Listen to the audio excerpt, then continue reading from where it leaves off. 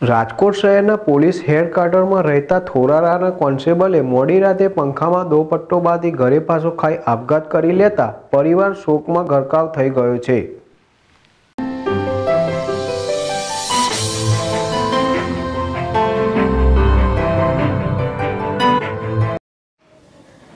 રાજકોટ શહેરના પોલીસ હેડક્વાર્ટરમાં રહેતા થોરારાના કોન્સ્ટેબલે મોડી રાત્રે પંખામાં દુપટ્ટો બાંધી ઘરે ફાંસો ખાઈ આપઘાત કરી લેતા પરિવારમાં શોકમાં ગરકાવ થઈ ગયો છે. લગ્ન જીવનના સાત વર્ષ દરમિયાન પત્નીને બબ્બે વખત મિસ ડિલિવરી થતાં તે સતત ચિંતાતું રહેતો હતો અને તેના કારણે જ આ પગલું ભરી દીધું હોવાની પરિવારજનોએ શંકા વ્યક્ત કરી છે.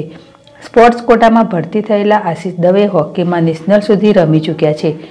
તેમાં તેના રેન્ક પણ સારો હતો ત્યારે અચાનક પગલાંથી પરિવાર પર આફત આવી પડી છે. સોમવારે મોડી રાત્રે પોલીસ હેડક્વાર્ટરમાં બ્લોક નંબર બાવનમાં રહેતા અને થોરારા પોલીસ સ્ટેશનમાં કોન્સ્ટેબલ તરીકે ફરજ બજાવતા આશીષભાઈ દીપકભાઈ દવેએ ઘરે ફાંસો ખાઈ લીધો હતો.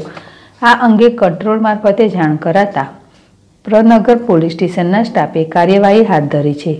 આશીષના પિતા પણ એએસઆઈ તરીકે પોલીસમાં ફરજ બજાવતા હતા.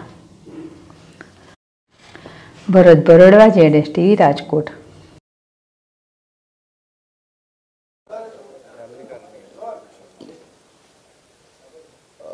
ગઈકાલ મોડી રાત્રે રાજકોટ શહેર પોલીસમાં નોકરી કરતા અમારા એલ આર દવે ને પોતે સુસાઇડ કમિટ કરા છે પ્રાથમિક દૃષ્ટિએ એને સુસાઇડ કરતાં પહેલે વોટ્સએપ ઉપર પોતાની પત્નીને અંજલિને વોટ્સએપ પર મેસેજ પણ આપેલા છે અને પ્રાથમિક પરિવારિક કોઈ કારણના લીધે સુસાઇડ કરી છે તેમ છતાં અત્યારે તપાસ ચાલુ છે અને પછી સંપૂર્ણ વિગત કોઈ બીજી હશે તો આપને જાણકારી આપશું.